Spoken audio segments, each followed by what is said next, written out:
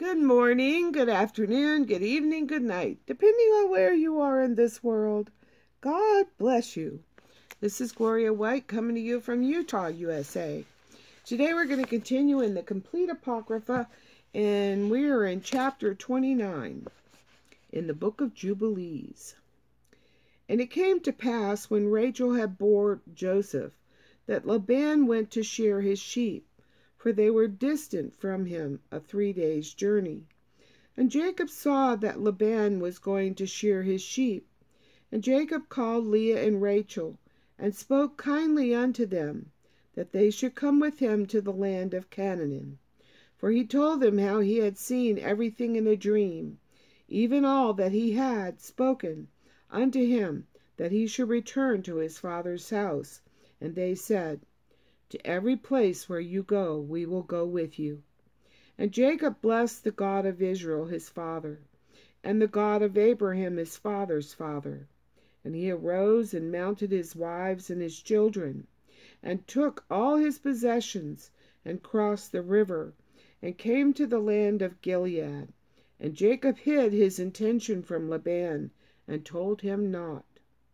And in the seventh year of the fourth week Jacob turned his face toward Gilead in the first month, on the twenty first thereof.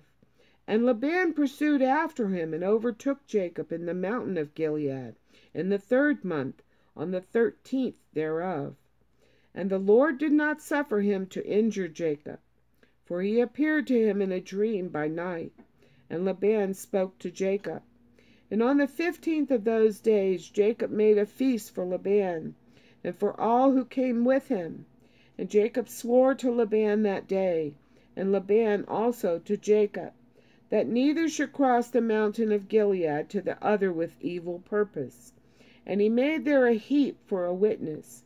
For that reason the name of that place is called the heap of witness. witness. After this heap, but before they used to call the land of Gilead the land of Rephaim, for it was the land of Rephaim, and the Rephaim were born there, giants, whose height was ten nine, eight down to seven cubits, and their habitation was from the land of the children of Ammon to Mount Hermon, and the seats of their king and kingdom were Karnaim and Ashtaroth and Edrei and Meshur and Beon and the Lord destroyed them because of the evil of their deeds, for they were very malignant, and the Ammonites dwelt in their stead, wicked and sinful. And there is no people today which has wrought to the full all their sins, and they have no longer length of life on the earth. And Jacob sent away Laban, and he departed into Mesopotamia, the land of the east, and Jacob returned to the land of Gilead. And he passed over Jabbok in the ninth month, on the eleventh thereof. And on that day Esau his brother came to him, and he was reconciled to him, and departed from him unto the land of Seir. But Jacob dwelt in tents. And in the first year of the fifth week, in this jubilee, he crossed the Jordan and dwelt beyond the Jordan. And he pastured his sheep from the sea of the heap unto Bethshan, and unto Dothan, and unto the forest of Akrab, excuse me, Akrabbib, Bim, Akrabbin. And he sent to his father Isaac of all his substance, clothing and food and meat and drink and milk and butter and cheese and some dates of the valley, and to his mother Rebekah also four times a year, between the times of the month, between plowing and reaping, and between autumn and the rain season, and between winter and spring, to the tower of Abraham. For Isaac had, had returned from the well of the oath, and gone up to the tower of his father Abraham, and he dwelt there apart from his son Esau. For in the days when Jacob went to Mesopotamia, Esau took to himself a wife, Mahalath, the daughter of Ishmael. And he gathered together all the flocks of his father and his wives, and went up and dwelt on Mount Seir, and left Isaac his father at the well of the oath alone.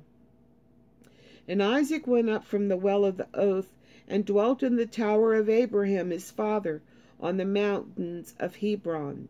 And there Jacob sent all that he did send to his father and his mother from time to time, all they needed. And they blessed Jacob with all their heart and with all their soul. He was honoring his father and mother. Let that be a good example for us to follow, right? I wish I had known that when my parents were still alive. I didn't know that part of the Bible. I didn't really know the Bible then. But had I known, I would have certainly cared for my mother. My father had already passed away, but that hurts me that I didn't provide for my mom. And I could have. I was making tons of money.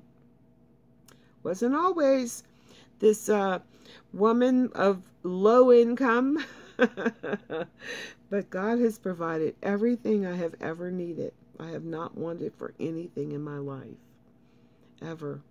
I've been very blessed. And as always, I'm so happy to be back. I love you guys.